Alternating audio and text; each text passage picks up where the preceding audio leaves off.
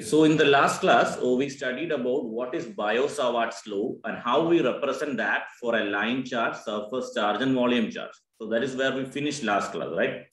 So then if you, if you are checking your uh, syllabus means what comes next is by using this Biot-Savart's law, how to calculate the magnetic field intensity for a finite and infinite wire carrying. That is, uh, that is for a filamentary conductor. So I told you last class, filamentary conductor. So for that's for a line charge, what will be the magnetic field intensity if it is of, of finite length as well as it is for infinite length.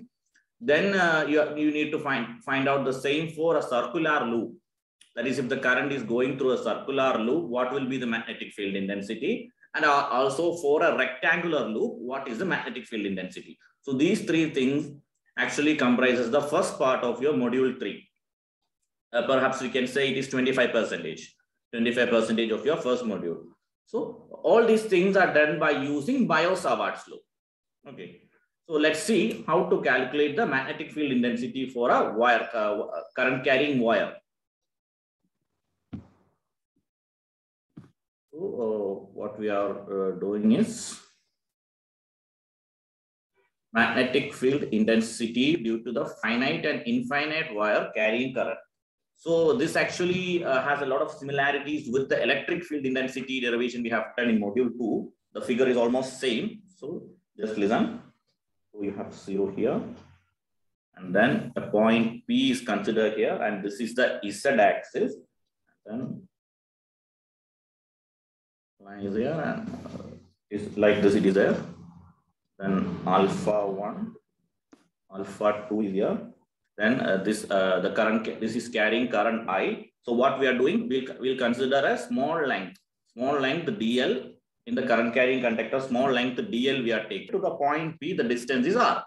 So i think you might be remembering this figure. And this angle is alpha. So most of the things are same here. Only difference is that we are calculating okay this, this is the z axis. So this much only is required here. Now considering the contribution of consider the contribution of, so this is how the derivation should go. This normally comes for 8 marks or 10 marks. Contribution of DH. DH is the differential uh, part of the grade. That's how, that's how we normally do.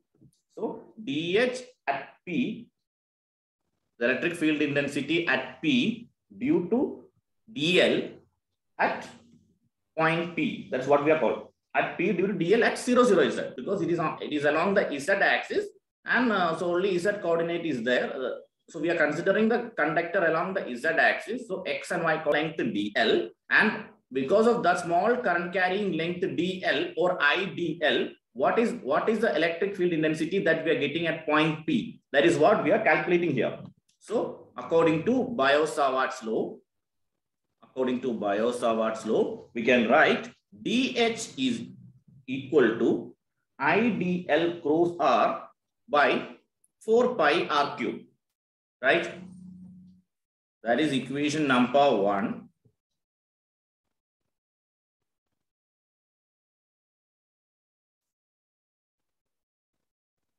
So now uh, we, uh, we, we have written the uh, basic equation for Biot-Savart's law that is dH is proportional to IDL cross R by 4 pi R cube. So you know whatever it, what all these things you already know how 4 pi R cube came and all you know unit vector and all we combined and wrote. Okay. Now we can we need to find an expression for DL. DL according to so this is in the Cartesian coordinate. So DL will be D Z A Z. DL will be D Z A Z because it is along the Z axis and A is that is a unit vector. And now we need to find out the vector R. That is this distance vector R we need to find out. How we will find out? Vector R is equal to rho arrow minus ZAZ. Yeah, I forgot to mark one thing. This distance, this horizontal distance is rho. So the vector R, this distance will be rho arrow minus ZAZ. That is the vector R. Now we can combine. Now we can do DL cross R. So we have DL with us we have R with us, then we just need to do DL cross R.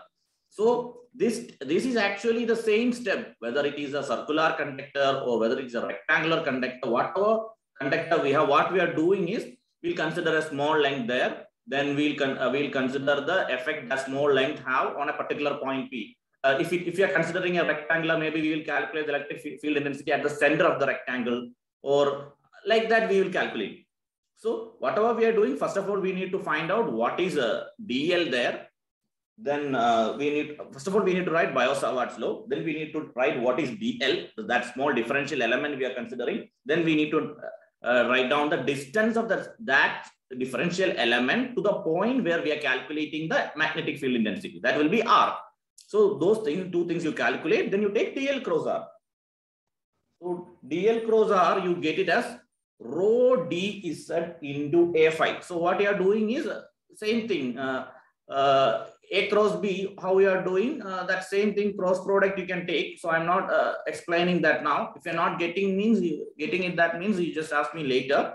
So directly, that is D Z A Z is at is given and R. So both coordinates are given. What is A Z A is A Z? So just write down how you can just show you how to go go ahead with that. So A rho A phi A Z will come then you write the coordinate of the first vector cross product. When you do that, you get rho d z a phi. Okay, so just try that while you're studying because that will be a good practice.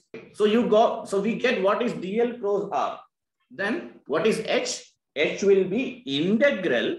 So dh we have idl cross r by 4 pi r cube. Then h will be integral of i into dl cross r. dl cross r is rho dz into a phi divided by 4 pi r cube we have, right? 4 pi and what is r? Uh, we have calculated r here. So modulus of r will be root of rho square plus z square, square plus z square. Mod of r is root of rho square plus z square. So we can write rho square plus z square the whole raised to 1 by 2. Right? Square is there, then it compares from the figure, uh, we should take some values. So we have Z here. From the, from the figure, Z is equal to rho cot alpha. Again, this is angle alpha, this is rho. Then Z will be rho cot alpha. So from the figure, we can take Z is equal to rho cot alpha. Then rho cosec square alpha d alpha. Okay, then we'll substitute these values here. Then H is equal to minus i, this minus will come here, minus i by 4 pi. So this derivation is going to be the integral limit here.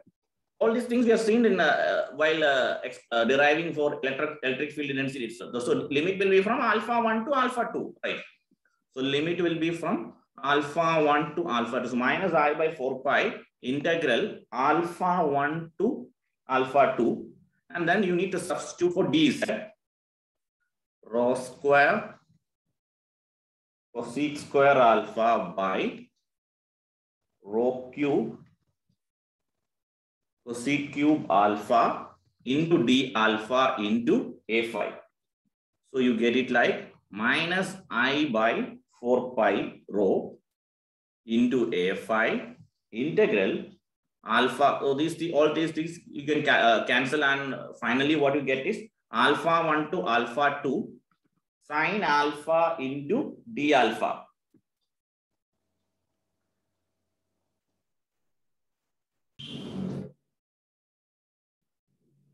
So uh, now when we continue with the integration, uh, you will get it like, so now it is very simple. Minus i by,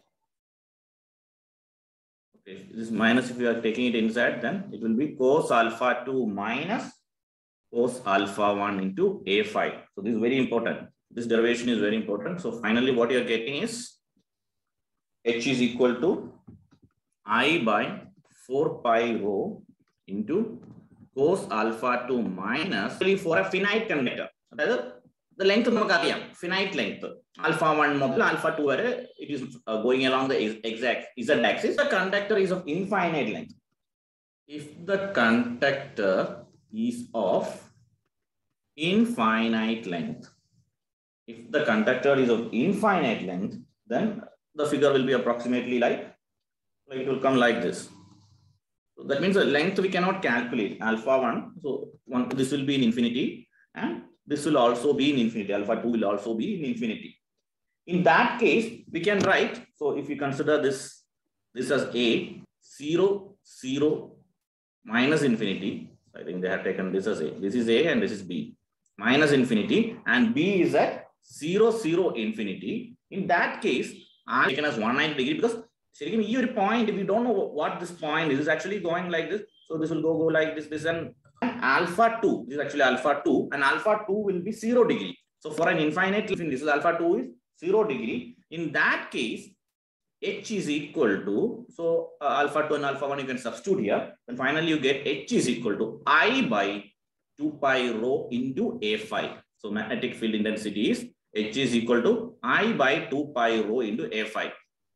So I'll just uh, once again just revise it. So, so far we have studied what is Biot-Savart's law. So you know what, what is the basic equation. Now by using the ap application, by using Biot-Savart's law, we are finding what is the electric field intensity due to a finite and infinite wire carrying current. So first of all, we consider a current ca carrying uh, current uh, uh, a wire carrying current I along the Z axis and then uh, we we need to find out uh, the electric uh, the magnetic field intensity at a point p which is at a distance r and then um, we took the angle alpha 1 and alpha 2 at the, at the two ends of the current carrying conductor. And then we took a small length dl. Then according to Biot-Savart's law dh is proportional to idl cross r by 4 by r cube. Then we found out what is dl. Then we found out what is r. Then a DL cross R we did. Then uh, if we found out H, that is integral DH we found out. And then we took Z is equal to rho cot alpha, just like we have done in electric field intensity, that derivation itself. So same concept.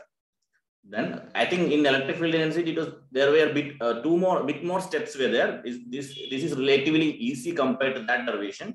Then the same thing uh, we gave the integration constants. I mean the limits alpha 1 to alpha 2 and then you finally arrived at h is equal to i by 4 pi rho cos alpha 2 minus cos alpha 1 into a phi and then for an infinite length we realize that alpha 1 is 180 degree and alpha 2 is 0 degree. That which, which finally makes the derivation h is equal to i by 2 pi rho into a phi which is the magnetic field intensity. So this is the magnetic field intensity.